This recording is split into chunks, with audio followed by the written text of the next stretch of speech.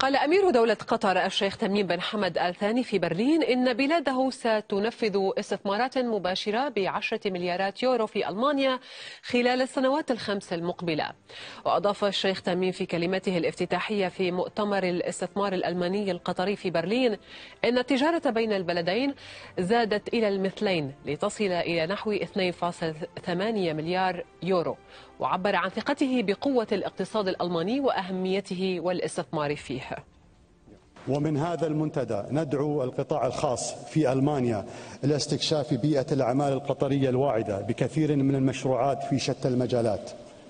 وبالمقابل تعبيرا عن ثقتنا بقوة الاقتصاد الألماني وبأهميته الاستثمار فيه أعلنوا عن عزم دولة قطر ضخ استثمارات بقيمة عشرة مليارات يورو في الاقتصاد الم...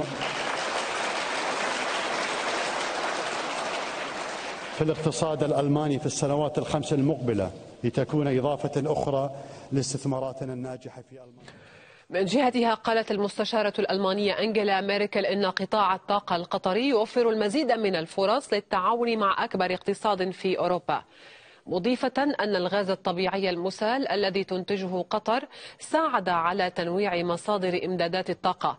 من جهة أخرى قالت المستشارة الألمانية إن ألمانيا ليست طرفا في الخلاف الخليجي ودعت إلى وقف التصعيد. في الواقع إن كان هنالك وصف يعني واقعي لما نراه اليوم في هذا المؤتمر فهو العصر الذهبي للعلاقات القطرية الألمانية على المستوى الاقتصادي. هنا يعني معظم المشاركين لا يتحدثون فقط عن استثمارات تأتي وتذهب بل يتحدثون عن شراكة استراتيجية.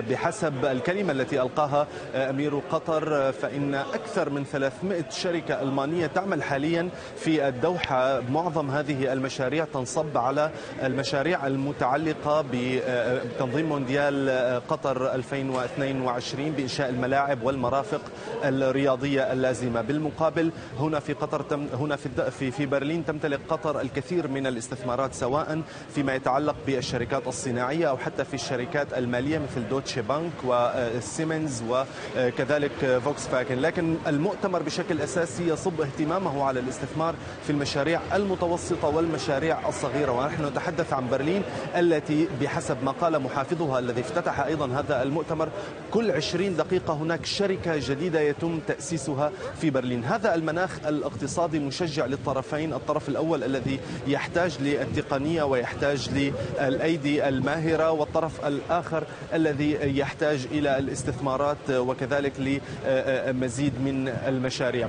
لكن التناغم الموجود اليوم بين بين برلين والدوحة غير مسبوق بالنسبة لعلاقة بين دولة عربية وبين قطر. بحسب المستشارة الألمانية أيضا برلين هي ثالث شريك اقتصادي للدوحة بعد الولايات المتحدة والصين ما يعني الكثير للطرفين. لكن بالعموم هنا ما تزال على على مستوى المؤتمر الجلسات مستمرة وستستمر حتى المساء. معظمها يتركز حول القضايا المالية وعلى القضايا الاقتصادية الأخرى. لكن أيضا هنالك مساحة لقضايا كالصحة والتعليم والرياضة. أمير قطر أيضا أكد في كلمته أنه سيتم افتتاح جامعة في الدوحة بالشراكة مع جامعة ميونخ التقنية مما يشكل أيضا رافدا جديدا لهذه العلاقة لتتجاوز مجرد الاستثمارات الاقتصادية.